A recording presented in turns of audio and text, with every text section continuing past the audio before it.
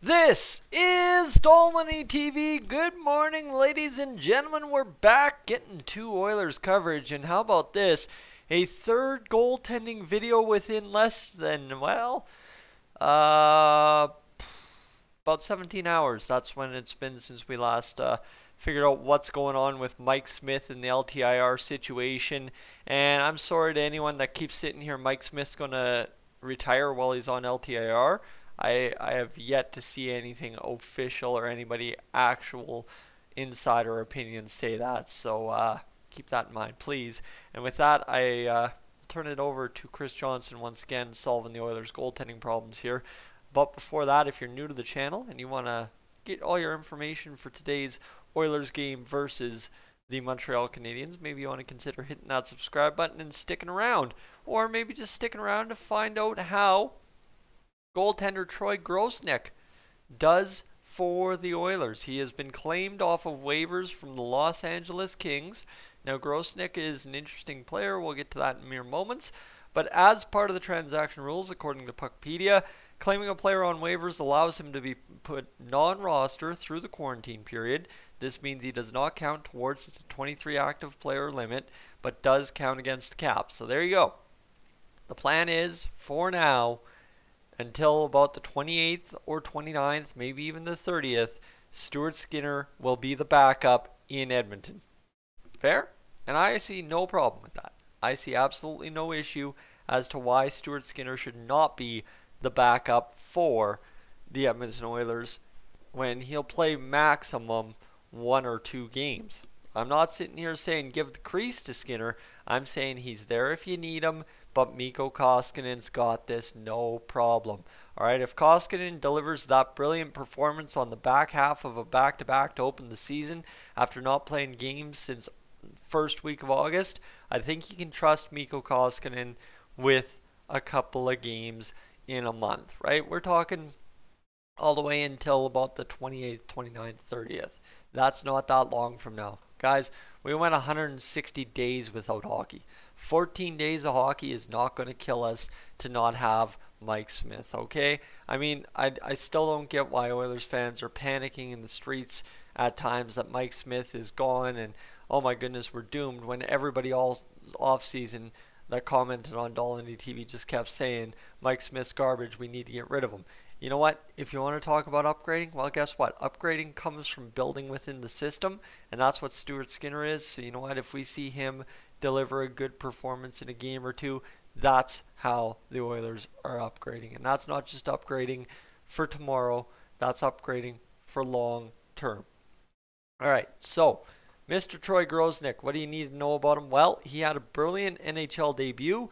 Two games played, a 152 goals against average and a 948 save percentage with a shutout and a 1 and 1 record in that first appearance with the San Jose Sharks back in 2014 15.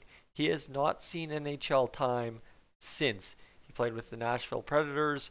I guess he might have ridden the bench for a game. Same with San Jose in 17 18.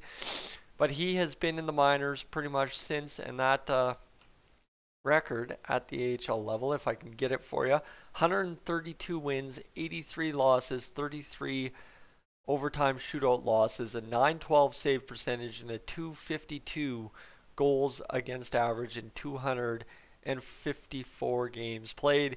He's a goaltender that's had some playoff experience in the AHL. So Troy Grosenick now becomes, well, I guess here's here's how you rate it. Do you rate the guy with two games NHL experience as your third string goaltender, or do you rate Stuart Skinner as your third string goaltender? Here's the question. Realistically, I think Grosenick is third string goaltender, although it's kind of reversed right now because Skinner's got to be the backup until Grosenick clears waiver protocol and quarantine protocol and all that and gets back into the lineup. And yeah, so he's a guy that, you know what, he's going to come in and hopefully solve a problem here for those couple of games. And let's just see if I can find any more reaction. It looks like there's not much more reaction to it. Um, after losing Anton Forsberg on waivers and putting Mike Smith on LTI, have claimed Troy Grosenick on waivers. So that's um, that's it. So there you go. Goaltending depth found. Look at that. The easiest possible solution comes to pass. And that's what we're starting to see Oh, out of Ken Holland. And I mean, last night everybody talking about signing Jimmy Howard or trading for this guy, trading for that guy. Why panic? This guy was available for free and he's had two NHL games, which is an infinite amount of games more than Stuart Skinner has played to this point of his NHL career. So, for the Oilers tonight, well, we face the Montreal Canadiens. Mikko Koskinen goes against Carey Price more than likely. And guess what? Guess who has the best goalie matchup head to head in this game, in my opinion? The Oilers have Mikko Koskinen. The Montreal Canadiens have Carey Flounder in net against the Edmonton Oilers. Why do I say Flounder? Look up Carey Price's career stats against Connor McDavid and the Oilers. They are atrocious.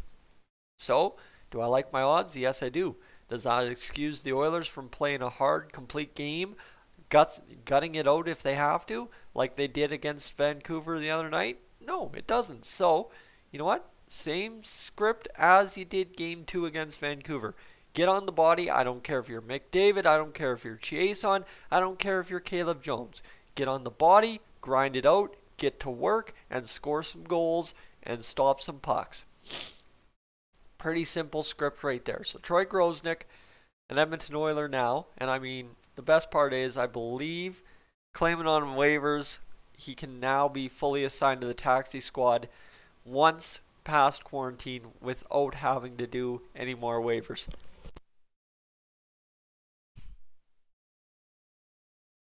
So, right, there's finally at long last, I think we've solved the Edmonton Oilers goaltending issue, and realistically, it's not much of an issue at all. Is this was Mikko Koskinen's year to become the full-time starter in Edmonton, and now he's got the chance to do it.